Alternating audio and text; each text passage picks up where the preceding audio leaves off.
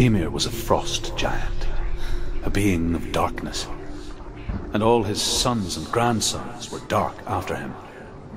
Of his daughters and granddaughters, some were monstrous, but others fair. But there was another who came from the ice. Buri. In shape, he was like a man, big and powerful. His son, Bor, took a fair giant to be his wife, and they had three sons.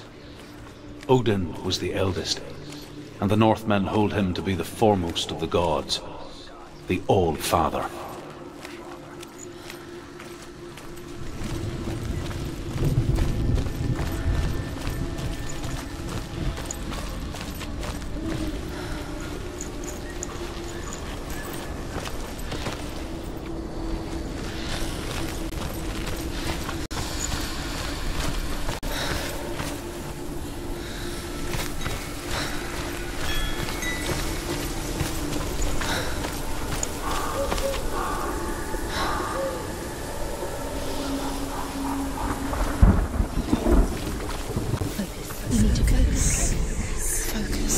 Illusion hides the path to Valravn. Don't trust your eyes. Find another way to see the truth.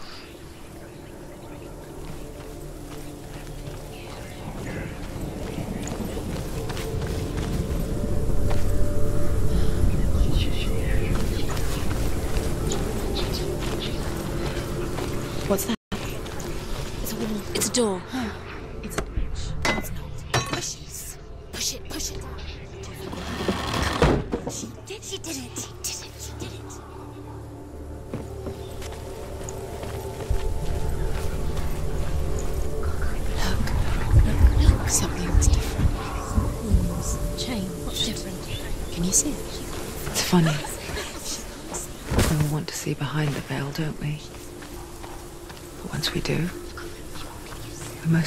Close our eyes again and pretend what we saw was never really there.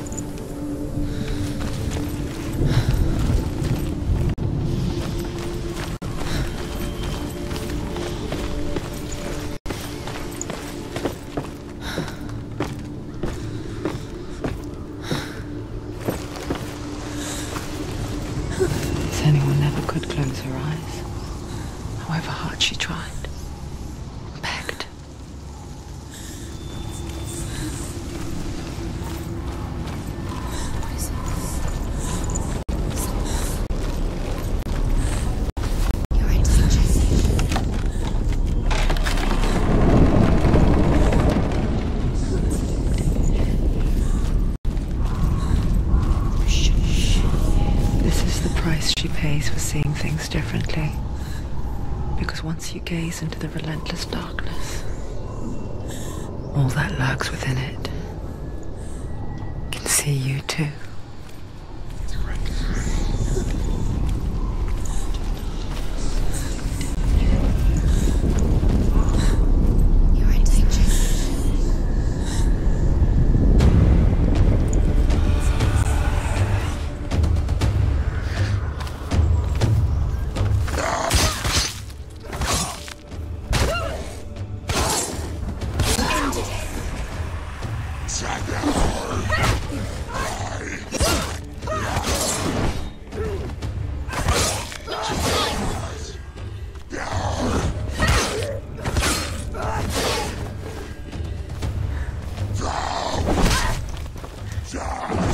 can anticipate your moves.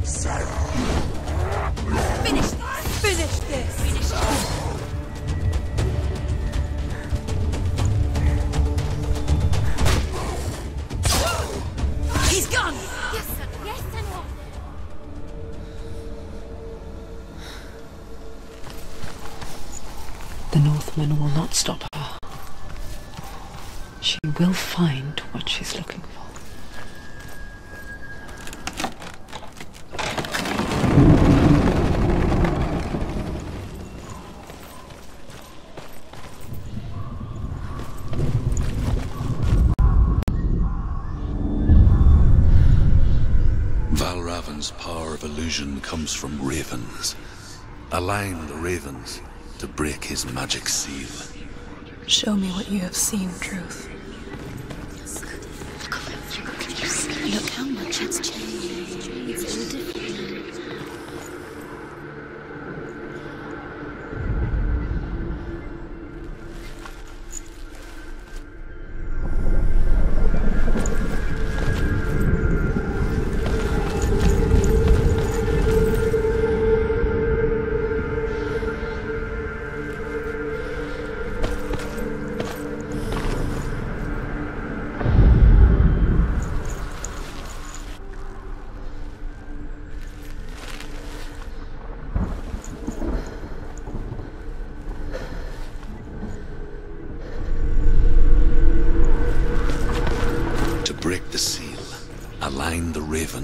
mark of Valravn.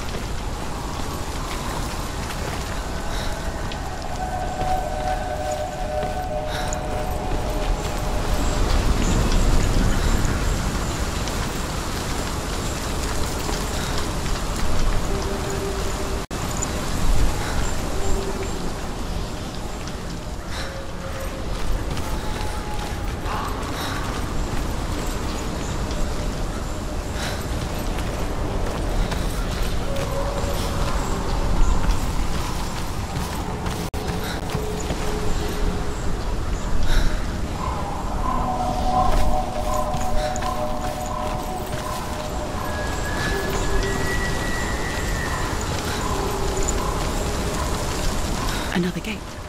Another gate. you know what to do. Stay back. You have to open it. It's not safe. Don't listen to them. Listen, listen. Don't. To break the seal, align the ravens with the mark of Valravn. Where are they? Do where are they? What does it mean? Find the ravens. Which ravens? Where are they? Can't Where you the see them? ravens? She can't see. Look around. Around. Try to find. Line up the ravens. Line them up. Shh, shh, shh, shh, shh. What is it? I hear something. If you hear the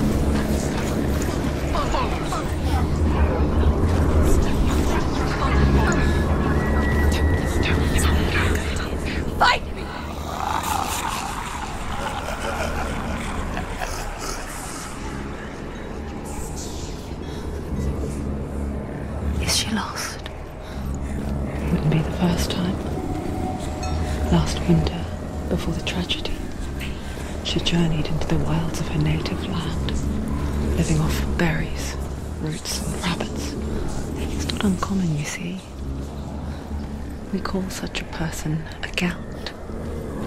Some, like Druth, become Gelt in search of penance. Others, like Senua, to purge a curse. Those who make it back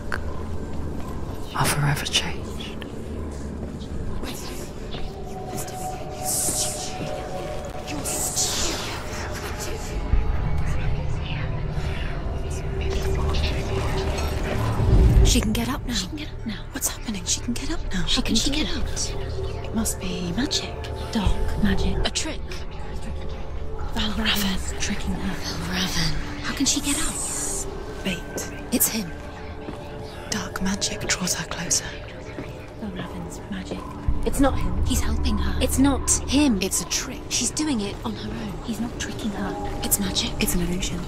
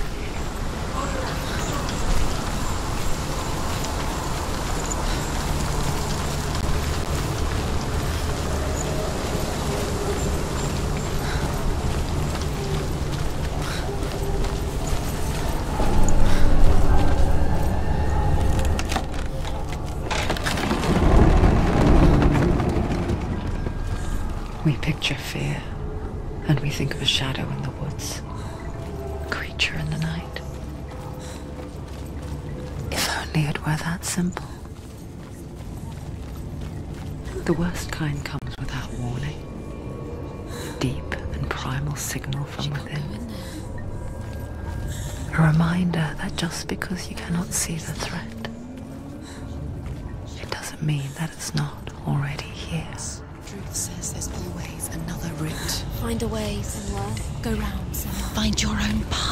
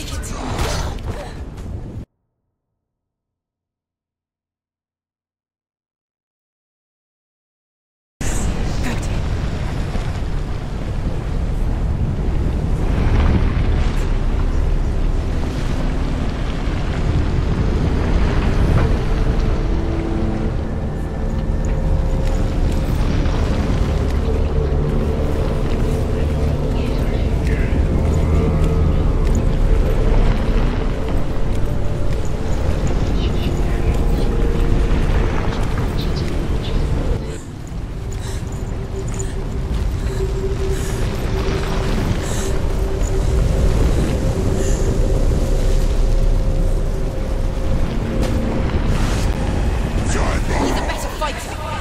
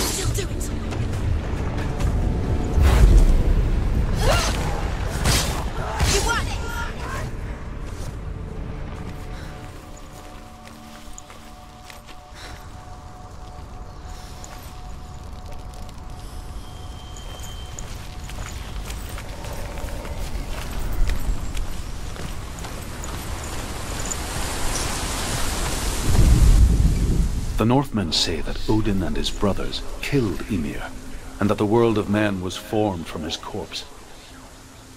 They made his bones into stone, and his flesh into earth, and his blood into the salt sea.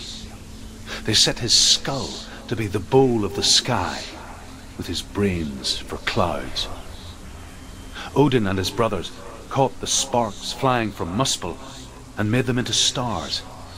And to protect the new world from the giants, they used Ymir's great curving eyebrows as walls.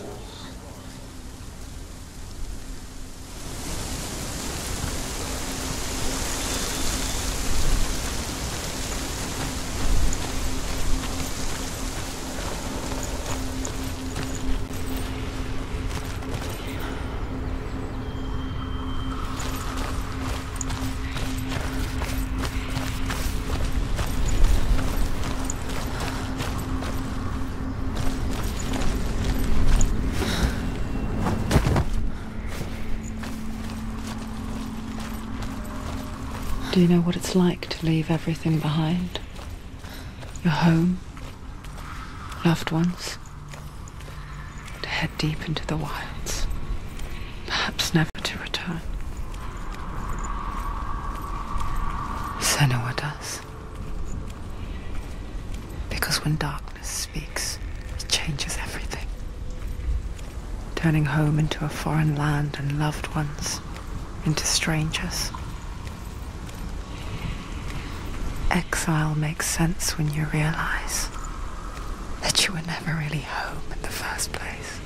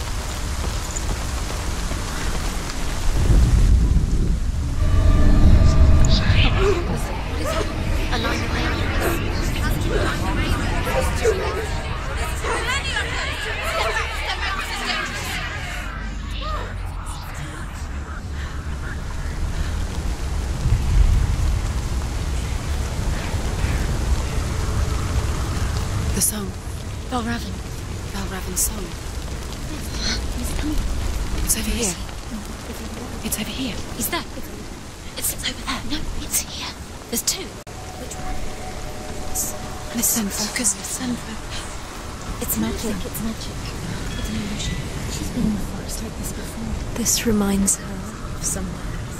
The forest. Where? Which forest? The forest in the wilds. The wilds. She left Dillion. She went to the wilds a long time ago. Why did she go to the wilds? She wanted to fight her own darkness. she thought she could beat her own darkness. Did she beat her darkness? No. it nearly killed her, but she tried. Druth. Druth helped her. If it wasn't for Druth, she'd, She'd be be dead. dead. She can't beat her own darkness. She wanted to marry Dillion. She came to beat her own darkness and marry Dillion. But She didn't thought- work. She thought her curse would affect him. She thought her curse would spread to him. She thought she'd bring the darkness to him too. She nearly died. She thought the curse made her tainted. Druth helped her.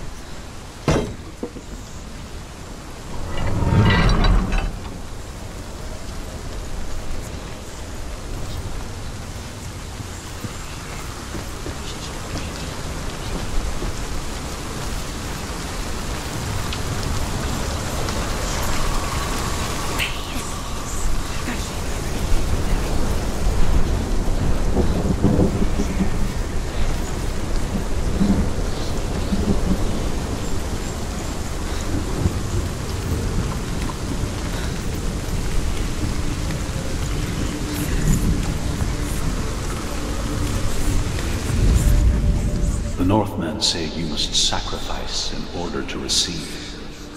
They tell how the runes were revealed to Odin only in sacrifice. He hung himself from the world tree, and he stabbed himself with a spear, and he dedicated the sacrifice to himself. For nine nights he hung on the tree without food or drink, and at last he saw the runes below him. He gave a cry and gathered them in his mind and learnt them.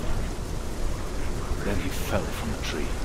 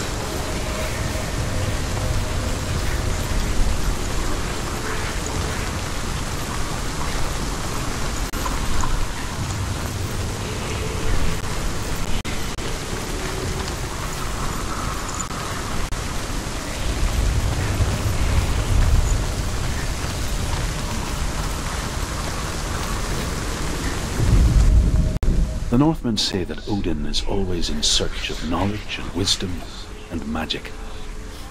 There was a very wise being named Mimir who guarded the waters of wisdom which flow from the roots of the world tree. Odin wished to drink from this spring, but he had to pay a price. So he gouged out his own eye as offering to Mimir. He drank from the well and traded one way of seeing for another.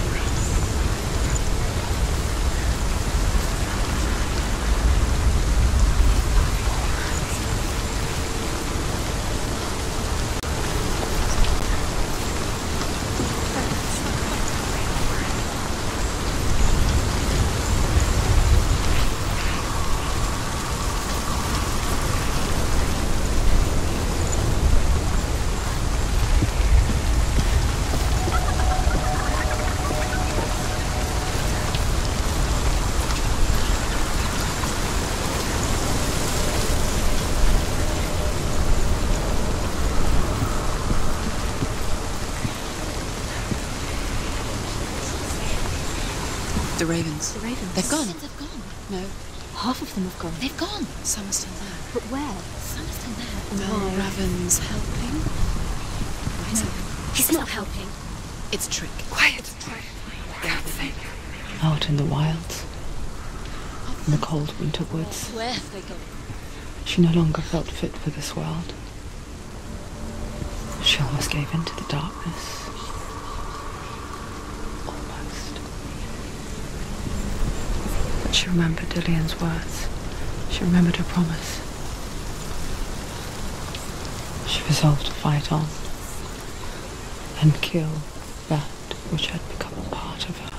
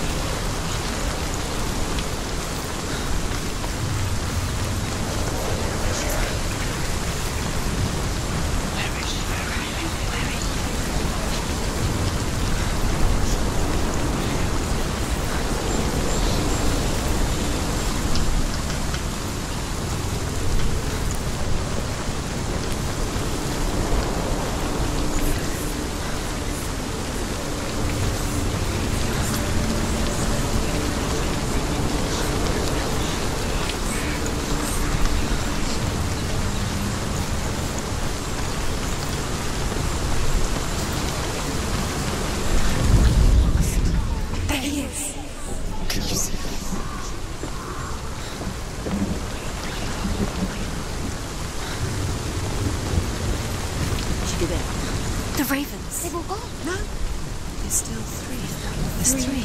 There's three. Where have they gone? Where have they gone? She did it. What does it mean? She Looking back, Was so naive to think she could banish it on her own. The further she saw into the darkness, the more she struggled to see anything at all. And the gloom, the smallest hints of shape, sound, or thought, grow in strength until they consumed her whole. Before she knew it, the darkness had her in its claws.